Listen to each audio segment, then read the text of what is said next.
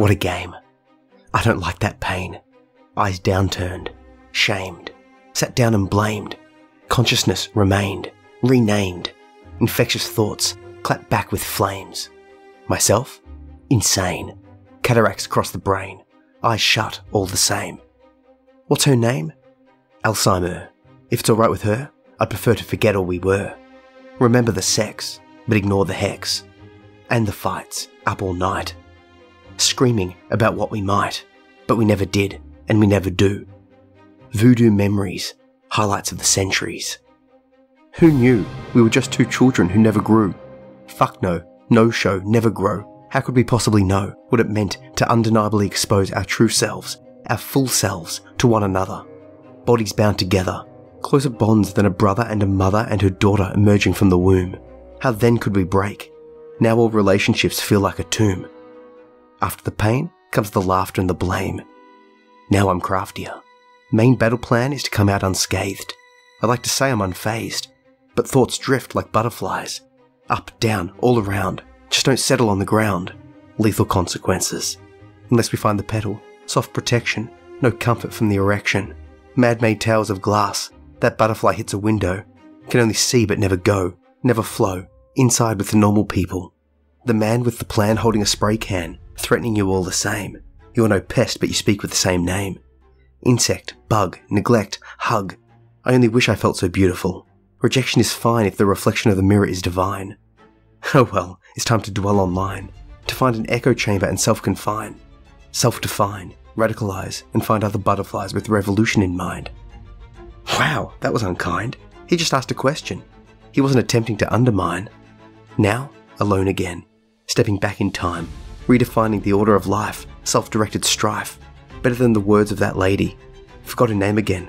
Let's call her not wife. Trying to pretend that we can be kids again. No problems, just friends.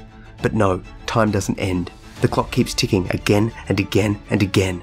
I sit watching the second hand bend, watching a caterpillar's life come to an end, wondering if it thinks the cocoon it's constructing is friend. True, everything changes, everything ends. Anything goes when you fly on the wind. Just flap your wings and deny its effect. Flutter here, hurricane there. I have a low effect because I know the effect of a society looking away. A man dying in a gutter, unable to sway, unable even to pray. The windows are all closed. The cocoon is far away. Still, he manages to smile when a butterfly floats his way and chooses to settle, for his fingers are a petal. And he'd never shoo that fly away. Small beauty, vibrancy amongst filth, moments of clarity against a bleak totality. Silver lining? No point pining, no reason to complain, because this is life just the same. Entropy is a catastrophe when observed linearly. So detach and meditate liberally. Don't dither and consider the possibility that the ability to see all this mess actually makes us blessed. That factually the stress binds us to duress, but also in love and moments from above. Taken in concert, I know that I want it. For although this melody is punctuated by minor notes, it would feel like a crime to ignore the chime and the bells and the whistles that sing across the length of that butterfly's wing. Watch and find that strength. Listen, and you'll hear the man sing.